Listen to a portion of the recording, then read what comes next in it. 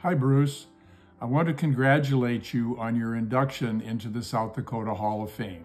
It is truly a well-deserved honor. During the years we worked together at the Indian Health Service, you served as both a mentor and an example of what true leadership should look like. Your career has positively affected countless Indian Health Service employees and Native Americans across this country. Thank you for being a leader, a mentor, and a good friend. Hello, Bruce. This is Jeff Dietz. Congratulations on your induction to the South Dakota Hall of Fame. You've been a busy man these last 52 years since we finished our time at South Dakota Mines. We went different directions since then, making it difficult to stay in touch.